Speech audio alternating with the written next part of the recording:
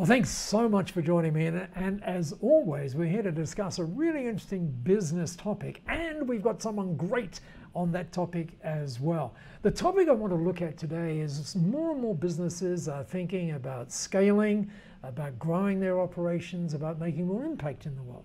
And frequently, what we hear people saying is, well, how can I do that with team members? Should I be using virtual assistants or VAs, or are there other ways that I should be looking at it?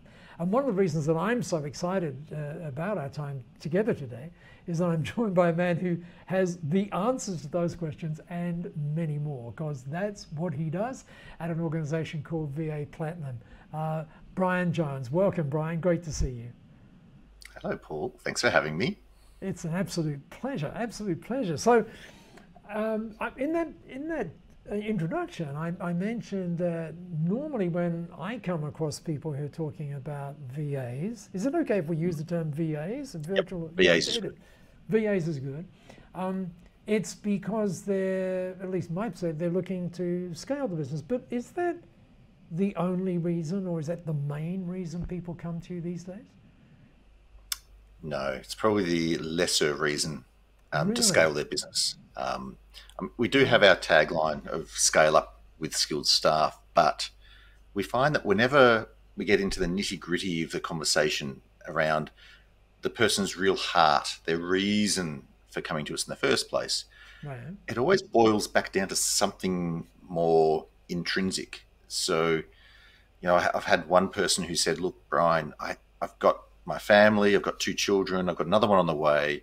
I haven't had a a stamp in my passport with my family for over five years. um, I'll, know, I'll know this is successful when I have that passport stamp in my passport with my family. And that's when I know that we've worked well together. Um, I've had others come and say, look, to be honest, uh, my marriage isn't going well. And it's, it's because I'm working too many long hours. I'm doing everything. I'm coming to you because I want my marriage to succeed. Um, so mm. I get a lot from those conversations, often more than when people say, "Look, I just want to grow my business." It's like, why? What's what's in it for you, really? To just to scale. So uh, you know, so it's good. Interesting. That is so interesting. So it's, it's it's almost like you're kind of like a psychiatrist sometimes, or a psychologist, right? When doing it. Oh, I think I think I enjoy my work more when I really understand someone's underlying reasons for why they're getting in touch in the first place. Right. Um, like I get, I think we're, we're all very similar. We all want reciprocity in some way. Right. And, and for me, if I really understand why someone's coming to talk with me and to seek my guidance and I can help them, I, I get so much passion and joy and energy from that. But if they just said they want to grow their business, mm, it's really hard to get behind that. Okay, that's fascinating. That's fascinating. Can I ask, what was it that led you to specialize in this area? Mm, backstory. Okay, bit of backstory is that um, my wife and I had our child. We've only got one, but we had our child, and I was literally working 60, 70 hours a week. Uh, to be a bit vulnerable here, I, I, even a few nights I would wake up sweating, like dripping with so much sweat with stress and anxiety from my business. I'd have to get out of bed, lay some towels down on the bed, and then hop back in and go back mm. to sleep. And you know, I read a couple of books, and they recommended hiring virtual team members, um, specifically in the Philippines. And I thought, great, I'll give that a go. And within 18 months of doing that, um, I, I'd literally gone from the 60, 70 hours a week down to 30 minutes a month in my business. You know, it, it, it was that, that, that's, uh, I, am not sure what the percentage is, but that's a pretty big percentage right there. yep, it was a big change. It, was within 12 months, I went down to one day a week. Wow. And then that in that next six months, to take me to 18 months, I was able to get it from one day a week down to 30 minutes a month. Um, and, you know, I took three years off. We traveled in the caravan with my wife, and I started investing to startups. I opened a gym. I built an app for vegans. Um, but none of it was fulfilling. So my wife said, "Look, why don't you just go and help a couple of people who have asked for your help in building virtual teams, building systems, get their life back on track because these people really had pain in their life that they weren't going in the direction they hoped." Mm-hmm. Um, so I did that, and I loved it. I helped these three these three business owners, and I absolutely fell in love with it. I then took another three month trip away, and when I came back, I went, "I'm gonna. This is it. I think this is my calling. This is my mm. purpose. If I can leave this life helping as many business owners as possible achieve what I achieved or better, then I'll be happy." Wow, that's such a, that is such a such a great story. I'm wondering then when, when, when people reach that moment, you know, where you said you were lying on the towels or whatever it was you say, what is it that might stop them saying, oh, you know, I need to seek a, a virtual assistant? What, I mean, because you described a pretty powerful scene right there. Mm. I, I've heard every reason that people might give. I guess they could say, well, I could do it faster myself. You know, rather than trying to train someone else up, and it might take me an hour to train them. I could have done it myself in five or ten minutes. Yeah. Um, but of course, in that case, they're missing the point. Of course, they can do it faster themselves, of course.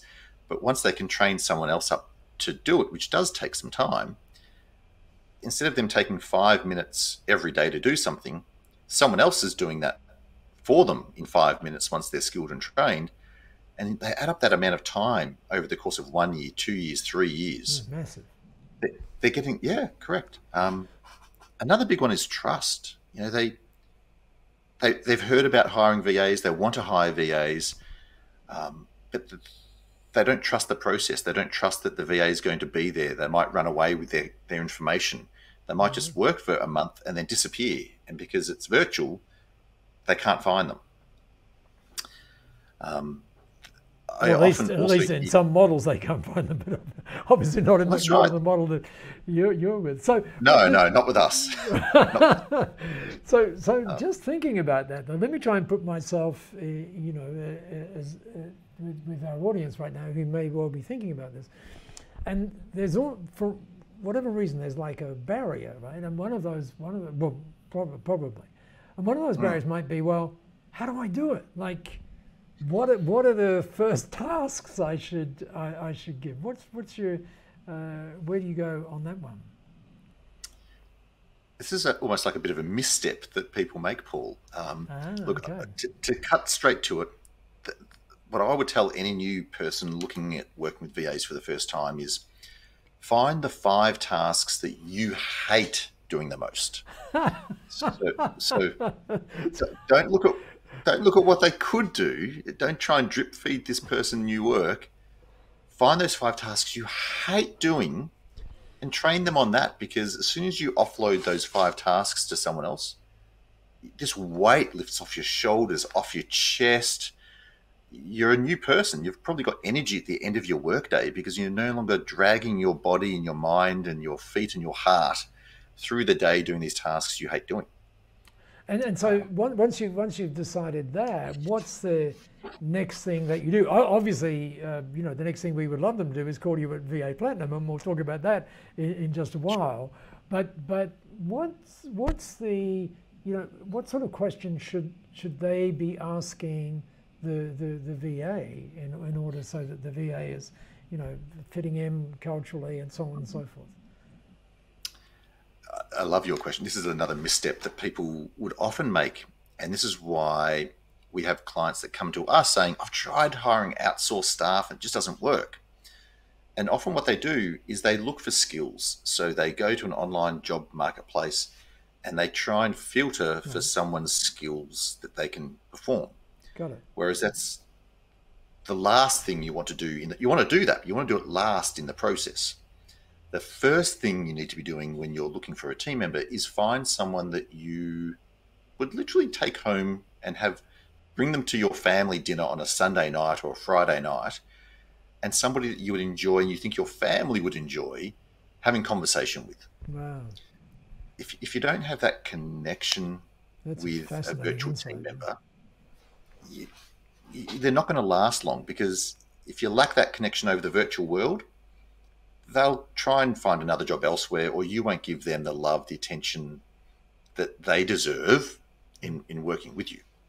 So, so then, how, how at VA Platinum do you do you solve that? Presumably, you have like a, some sort of process, right? Which which people mm. would go through. Just just talk us through that so we could feel really comfortable with it. Okay. And, and anyone could use this themselves. They don't have to come to VA Platinum. Like I'm hoping the reason why we're talking, Paul, is that anyone could do this and replicate what we do at VA Platinum. If people want to use this, they can. But cool. I really want to answer this in the way that people could do this themselves. Um, so, look, the first thing that like we've got six steps really that we take people through. Of course, we look at resumes to ensure that the people do have the background. Um, but the first, the, the, the real important thing that we do next is we hop on the phone and we we interview them over the phone to see if they're interesting people. And it's usually only a five to fifteen minute call, but can they just talk to us like we're normal human beings and laugh, engage, tell a story? If they're too stilted over the phone, then we know that we probably wouldn't want them in anyone's business. Mm-hmm. Um, the next thing they do is do a two hour testing. Now, the testing is usually specific to the type of work or the business that they're going to work for. Mm-hmm. So, if they're doing engineering and they have to use CAD, then they'll be doing testings on CAD. If it's um, a mm-hmm. chat feature backwards and forwards, then we do that testing. Then they actually have a face to face interview with a lead recruiter in our business and that could go for one hour. It could go for two hours. Um, some well, more could testing. I, could I just say, I'm, I'm, I'm really stunned by the depth of what probably too long. About. Yeah. Not at all. No, it's just it's uh, just a, a, stunning process. Keep keep going. It's really great. Okay. Um, we might do further testing after that if something comes out of the interview. Um, then after that, uh, they would meet either myself or one of my um, other you know, sales leaders or my general manager because what we're looking for here is we want to make sure that they're not putting me as a CEO of a company up on a pedestal. We want them to treat me just like a normal person that showers, eats, goes to the toilet, Paul. Like we're all human, we're all the same. And we want to make sure that they can just have a normal conversation with me like a normal human being. Um, if they get stilted and and sort of st- stop talking the way they were talking to the recruiter, we know that they might not be a good fit Right. Um, and then if they pass the test with me, then of course they would be interviewed by the end business owner who's going to work with that person full time. Sounds great, and I suppose one of the things you, you, you just you know I mean there's real depth in what you just said. Um, does, does that cut both ways? Like, would you let's say it was me that was hiring, would you uh, go through a process where you, you basically make sure that you know, that I'm going to do the right thing as well. Absolutely. Uh, we always we're always pitching, aren't we? Like in every conversation, it doesn't matter whether you're on the buying end or the selling end. Um, the person selling still has to want to sell to the person that's buying, um, especially when it comes to humans being involved. Um, I'm always testing and measuring in every conversation with a new business owner. Are they really the right fit to hire virtual team members because, from a cultural point of view, you never want to be in a position where someone's being treated poorly. Um, and for me, I, I, want there to be an even distribution. I want the business owner to get the real value they're looking for. Mm. But equally, I want the team member to also get the equal value that they're looking for in their relationship. Totally. Mm, totally. And if it's a mismatch, there's no point in encouraging a business owner to go down the path where they're probably not going to treat the team member the way they should, and therefore they won't get the result they want. So, so with that in mind, then let's imagine those those two things kind of work out well. What's mm. and, and as you were saying, you want people to be able to use this for themselves, irrespective of you know what what you're doing. Um, so, what is what's that first interface look like? What should we be as the potential hirer, if you like, of the of the VA? what, what should we be focusing on in those in those first weeks or, or even the first day? Sure. Um, so again, there's a process, of course. So Paul, we've got over 700 documented systems on how we guide business owners through and how we guide new virtual assistants through the process together. Did you say 700? Is that what you said? Over 700. Yes, over 700. Wow. And, yeah.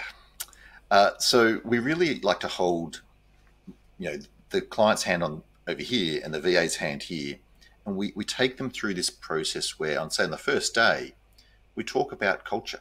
So we talk about you know, the business owner, number one, what cult, who are they? You know, not just in business, but who are they as a human being? Mm. Do they support you know organisations like B1G1? Do they support their local kids, you know, footy? You know, what do they do in their personal time? Because team members in the Philippines, especially, they like to fall in love with who they're going to work with. Um, if you're thinking that, that America, is, that is so that is so cool. That's just so cool. Yeah, yeah, um, yeah. Aussie, America, UK. You don't talk about yourself in an interview as a as a business owner or a boss, because the candidate will think this guy all he did was talk about himself. Right. In, in the Philippines, they really only want to work for someone that they believe in. That's so, that's so interesting, and and because the thought that occurs to me, yeah, the thought that occurs to me out of that is we we tend to think, don't we, of VAs as like transactional, right? That's that's how we think. But what you're saying is it's more than that. It's like relationship. It's you know we're we're part of it, if you will. So with with that in mind, do you, do you, do you see circumstances where you know, someone will hire a VA for, you know, ABC, but actually what happens is there are other things happening as a result of that. Totally, totally. Paul, 95% of the businesses that come to us say the VA that we're hiring or the VA team, they're never going to talk to our clients. You know, never. I'm like, I've got to tell you up front that flip, flip that 95% of our clients who have been with us for longer than six months have got their VA or the VA teams talking directly with their clients. you know, you're going to be amazed, and, and I think that's the biggest surprise that business owners get, is that they often come back within three to six months and say, the team member I've got with you is better than 75% of the employees I've ever hired anywhere in the world. It's like, that, that's right, because you've gone through a proper process yeah. in selecting someone who is going to be perfect in your life not just in your business, but in your life. That's so powerful. And, and, and what, is, what does that say, uh, Brian, about the life? Because I, you know, I know we're lovely human beings, and so we're obviously concerned with, uh, you know, the life of uh, the VA. So, what tell us what, what that looks like? What does the life of a VA look like? Yeah no different to us. So when when when when business owners are interviewing the candidates and they're trying to get to know them, you know, the candidate's just going to say, "Yeah, look, you know, I, I, watched what were we talking about earlier, Paul? Before we record, I think there was a there's a oh, Netflix some series. Netflix thing. Yes, yes, yes. Yeah, yeah. They, they just talk about that, or they talk about you know which Aussie rules football team they're following, or which NBA basketball team they're following, or you know which movie blockbuster movie they just saw at the cinemas and often the Philippines get the blockbuster movies two months before we do in Australia and sometimes in the US and the UK. so they're just talking about all the normal things. Oh yeah, like I went and got a Starbucks coffee this morning before work, and it's like, oh, there's no difference between see, us. No, see, that, that's no. really interesting, right? That's really interesting because you know I think that people would would see, oh, the reason that you know I'm going to hire a VA, for example. Um, and we need to remember, I mean, what you just said is this we need to remember that a VA is not virtual. We need to remember that a VA is a real person, right? They're not some sort yeah. of virtual object, right? They're a real person. Um, but uh, what you what you, you just said was that um, there's a how should I say it? There's a there's a, it's it, again it's about the relationship, not the not the transaction uh, that's, really uh, that, that, that's going on, right? So, so does that mean, you know, because the typical thing, right, that people go through is they ever go through, well, I got these um, repetitive things I have to do. You know, I have to do the email in the morning, I have to do this, I have to do this, I got to do this and this and this. And, you know, I don't want to do any repetitive things anymore, right? So is it, can it, does it sort of start there but then sort of blossom out? Is that what you're saying? It, it does. Um, if we go back, there's, there's, two, there's two approaches the first approach is those five tasks that the business owner hates doing. Now, they might mm-hmm. not be the repetitive tasks. Oh, okay. Okay. But, but, Got it. But when a business owner can get rid of those five tasks, how much do they fall in love with this new team member they've hired? Because this team member's doing these five tasks they hated doing. Now, after after you go through those five, and some of them might be repetitive, they might be answering emails, booking a calendar, they might be doing some customer service. Once you get past those first five that they hate doing, though, then we may look at okay, well, what are the things that you do the most that really are repetitive okay. that you really shouldn't be doing anymore? Got it. By this stage, the business owner has fallen so much in love with their team member.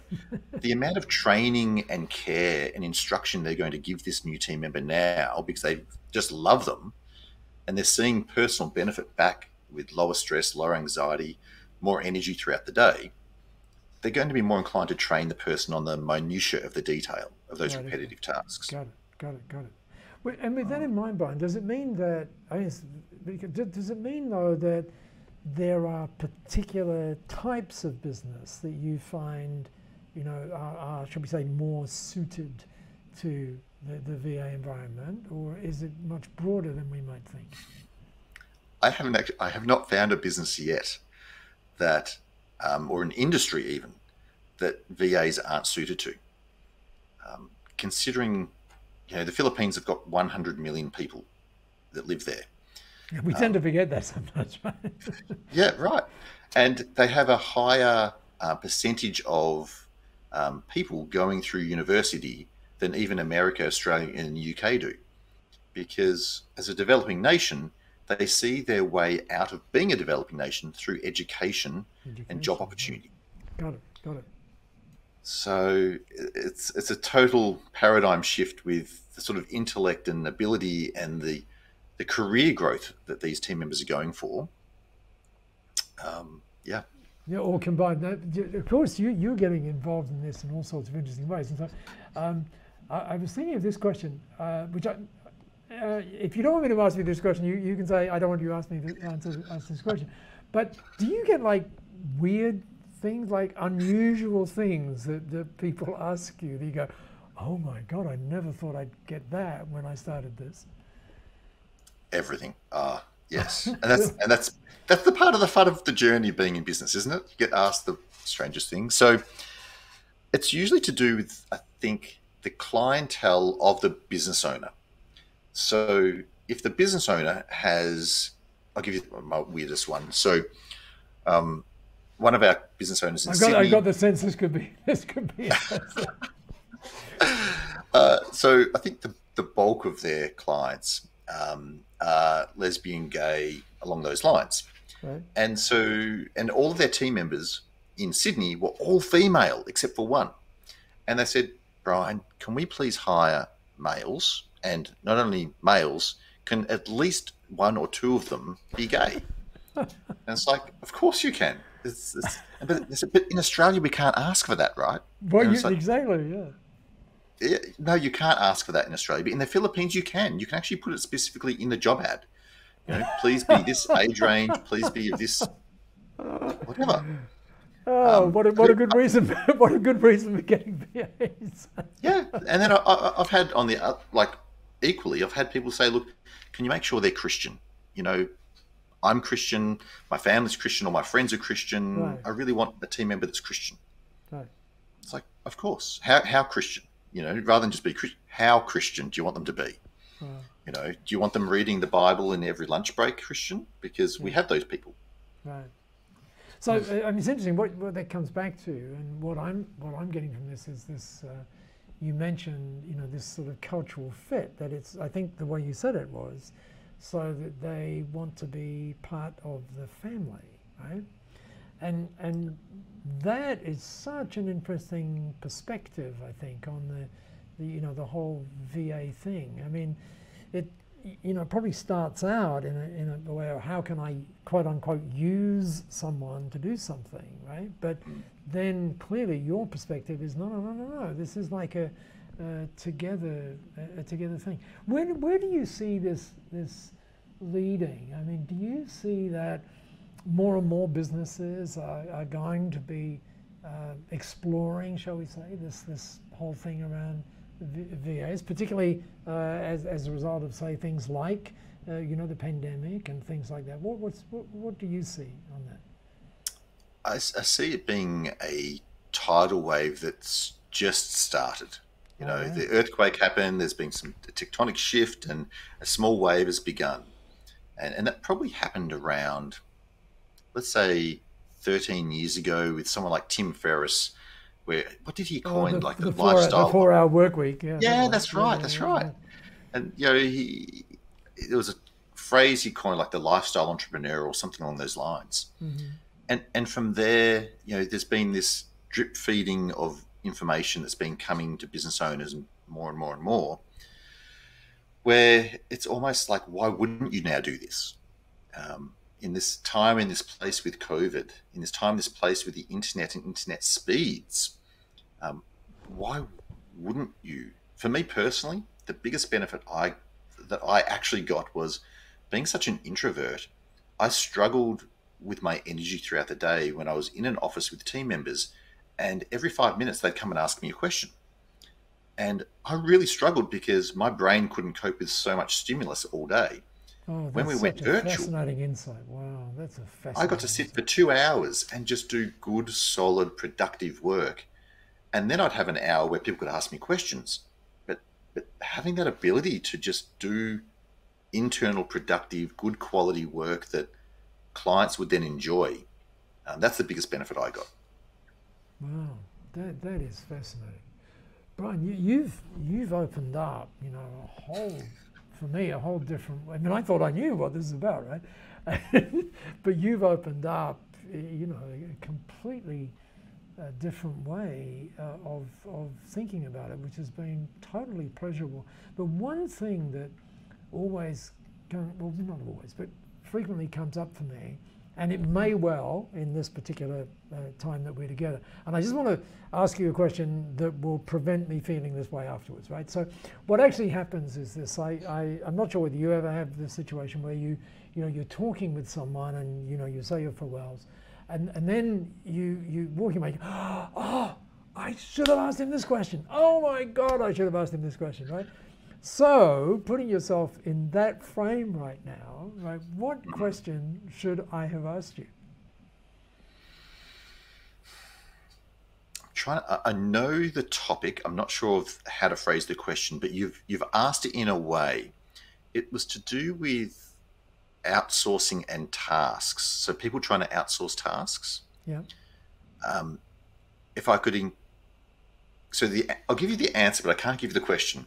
That's good. the answer is really good. That's okay. Is that I don't want anyone, any business owner ever to think about ever outsourcing their tasks to someone because it's the entire wrong way of thinking about getting your life back, making more money, improving your health, improving your relationship with your spouse and children. What I would rather people think about is going and finding someone who they can fall in love with in their business and that person falls in love with them and their business so that they're treating them like a highly valued team member that's doing highly valued work that the business owner doesn't do anymore so that they get all of that benefit back. If they treat the person as a task doer and that they're outsourcing hmm. their problems to someone else to take care of, happen, is it? Yeah.